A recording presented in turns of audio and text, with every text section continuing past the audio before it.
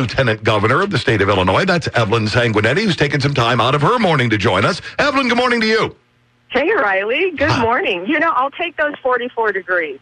Will you? You're all Yeah. right with it? Yeah, I'm okay with it. After what we've been through, let's do it. We're not shoveling it, you know, so really, that's the bottom True. line for me. You know, it's scraping it off windows. We're not shoveling it. I, I'll take that. True to that. You know, last time you were on, well, you've got a Rockford connection, don't you?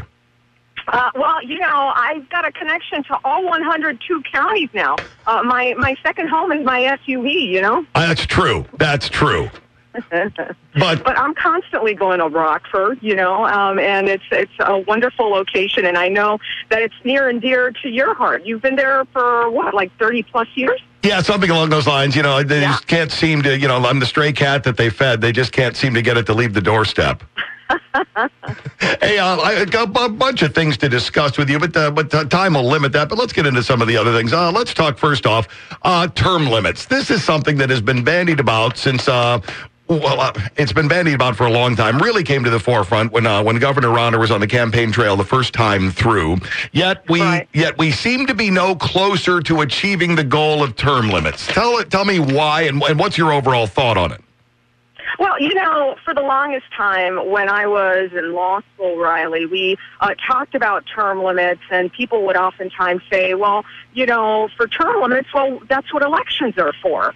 But over the course of time, um, my mind changed because of Illinois, and Illinois being a completely different animal. Uh, by way of example, you know, we have uh, Mike Madigan, who's been in office since I was three months of age, and I am no spring chicken. and this is why, at least for Illinois, we must have term limits. Now, you know, they had the chance to actually put this uh, to the lawmakers in Springfield. They had their chance uh, to make this an issue, and uh, they missed their deadline with regard to term limits and fair maps and everything else. So I think that this is an issue that we should continue to fight for, clash the cymbals for. When we have term limits, then we will have people in power there because they're fighting for their constituents, not fighting for their special interests. And you know, and, and like you, I, I've evolved on on the issue of term limits because I, I grew up and my, my my dad. I remember saying to me, "Well, the term limits, uh, term limits are the ballot box. Uh, you- Right. you, stop doing your job, people go in there and they vote you out, and and that's it. And maybe that was a naive thought, or maybe it did work better at that particular time. And I always I always agreed with it, but I, I've come to the point, especially when you work in, like you mentioned, the fair maps and the gerrymandering that goes on. Uh, you've got you've got politicians picking their voters, not voters picking their politicians. Right, and it shouldn't be that way. And you know what? J.B. Pritzker has refused to say that he'll term limit himself to two terms, whereas Bruce Rauner has said he only wants to do this for two terms. He's term limited himself as well as me. So it's time to move the needle, keep fighting for these term limits. I think it's the only way to save Illinois, quite frankly. Yep, and the and the one the one thing that we can say that we share the misery, the gerrymandering does go on in uh, in, in other states, but boy, it, it really really is apparent here in Illinois. Yeah, yeah. And this is why this election is going to be so very important. You know, these maps. Uh, I know in Rockford, I, think you guys are still upset as to how uh, Rockford was affected uh, by the mapping process last time around. So this is something that everyone should take very seriously and make sure that they get out there and vote because our maps will be at issue. And, and and don't hesitate. And you hear this this call all the time. Let your legislators know how you feel. And I know a lot of people go, "Oh yeah, what good does that do?" I call someone pretends they're going to write it down. They don't. But you know, enough people start ringing that phone. They're going to get the idea that the constituency is onto something. Right, right.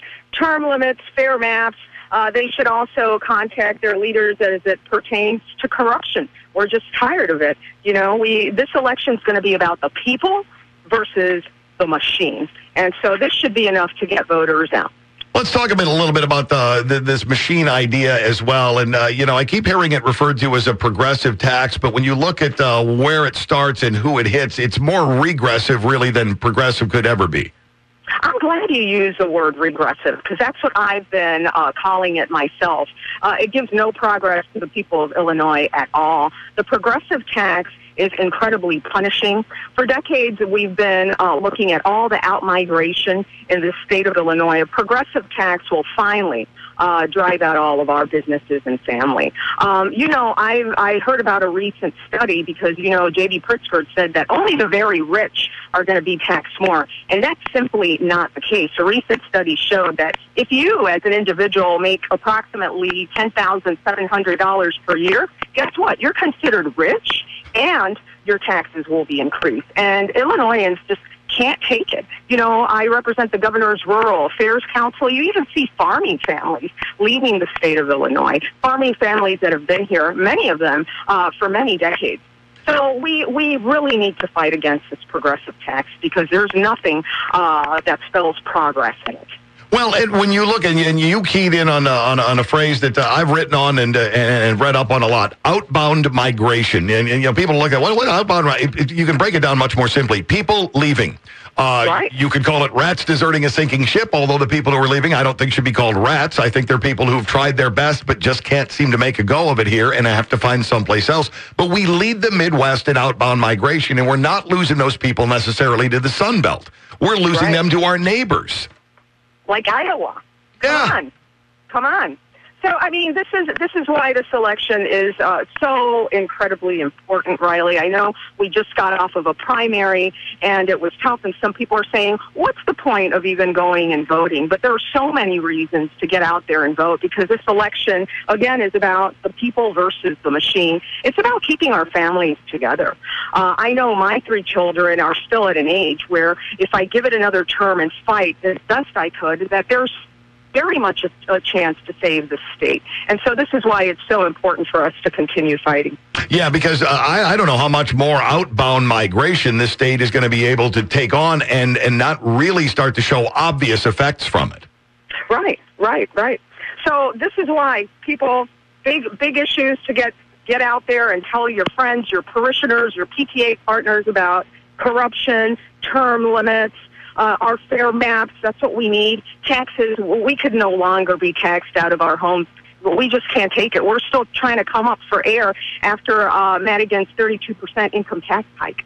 So these are things that should get us to the ballot. We're spending some time with uh, Lieutenant Governor Evelyn Sanguinetti. If you're just joining us, um, I, I, one uh, another note about the budget because you know I, I read a thing the other day where people were placing their bets on whether or not because you have until the end of the month to get this worked out, get the, get a budget put together, follow the Illinois Constitution, get a balanced budget going on, or is it going to be another piecemeal kick the can down the road? As you might imagine, most of the smart money went with the kicking the can down the road.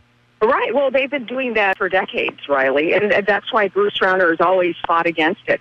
So the last thing people have been hearing about is budget negotiations. The Democrats have refused to give a revenue estimate as a basis for budget negotiations.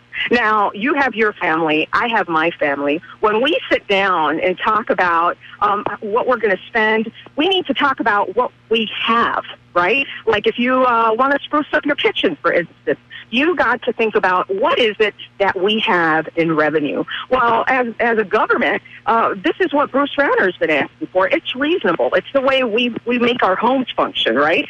And uh, the Democrats have continuously refused to give a revenue estimate as a basis for budget negotiations, and that's simply unacceptable. We're tired of these games.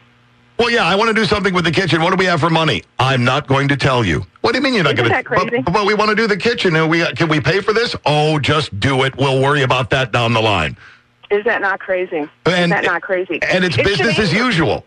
Yeah, it should anger people. And this is why, you know, uh, constituents need to demand this from their leader. The revenue estimate is not uh, rocket science. Uh, we need to know what we have before we could even talk about what we're going to spend.